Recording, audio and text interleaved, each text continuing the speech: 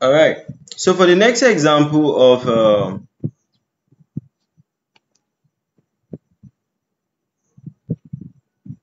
for the next example of immunoassay we should be looking at is what is known as what the chemiluminescence immunoassay. Chemiluminescence immunoassay, right?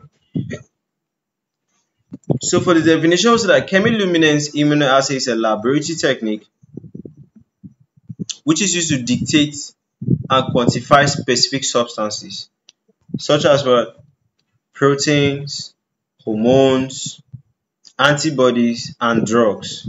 You are quantifying these things in biological systems or samples, sorry. Okay.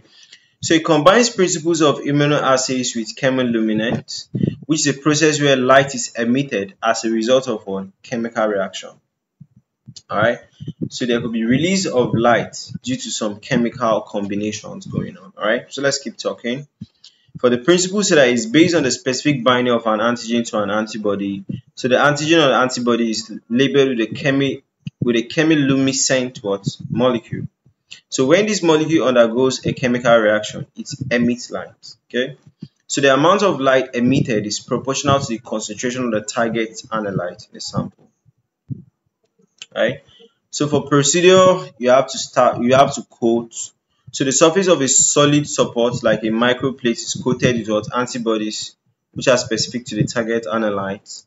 Sample addition. So the sample containing the analyte is added to the coated substance.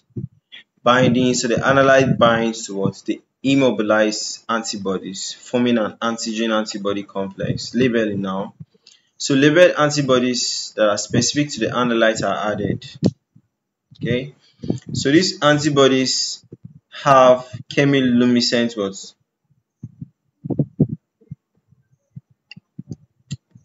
Um, labels attached. So for chemiluminescent reaction now, so the substrate is added and the enzyme linked to the labeled antibody catalyzes a reaction that produces light. Okay. So for measurement, is that the, the um, emitted light is measured with a luminometer okay so the intensity of the light is proportional to the concentration of the analyte in the sample okay applications it could be used for what? Diagnosis. We are trying to check out for amounts of what? Hormones drugs infectious agents biomarkers in a sample right? Research too can be used for research. Also food safety. So you can you, you can now dictate if there's contaminants or allergens in a food. Then environmental monitoring too you can detect pollutants or toxins in an environmental sample okay? So that's it for definition principle procedure application